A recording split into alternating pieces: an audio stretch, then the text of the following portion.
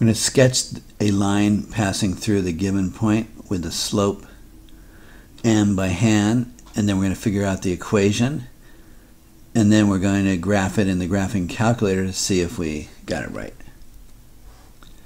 So the point, given point is 1 comma 4, and the slope is negative 3 fourths. So let's see if we can graph this. 1, 4 is right here. And then the slopes tells us to run for 1, 2, 3, 4. And rise, a negative 3, which means goes down, 1, 2, 3. And then we should draw this line through here.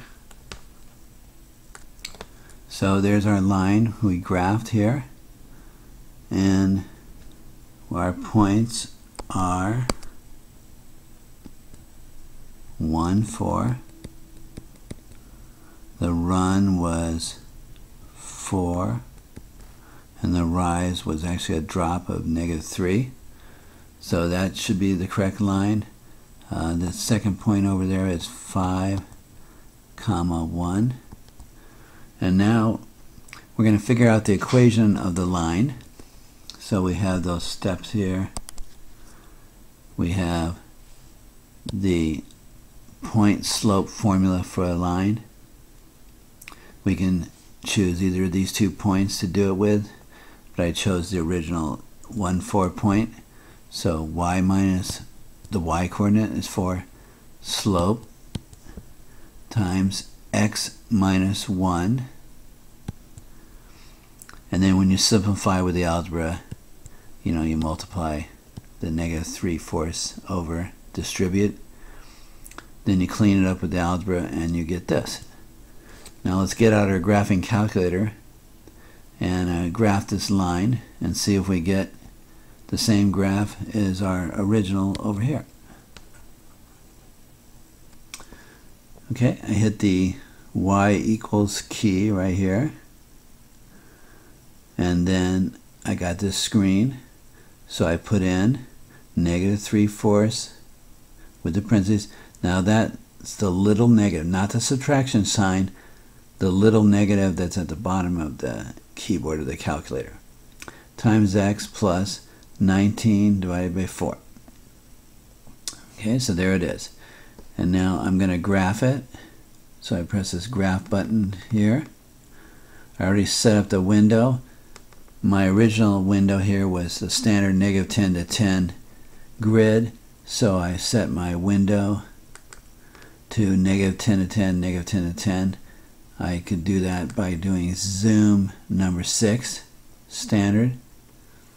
That puts it into the standard uh, window. So I'm ready to graph. Hit the graph button and I get this. And uh, I should do zoom square number 5 to see it look exactly like my other grid there. So I'm going to enter and it draws it. So I think that looks pretty good.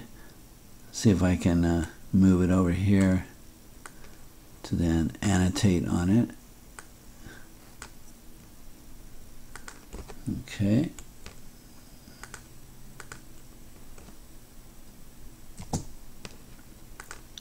Here's our graph.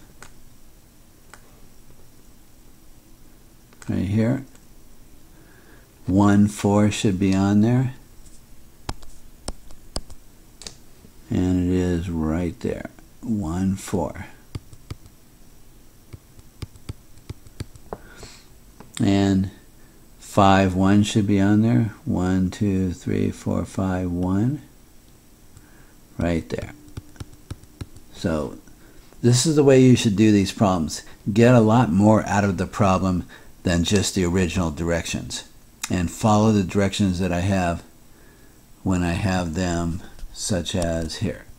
You know, all this stuff here, all that stuff there.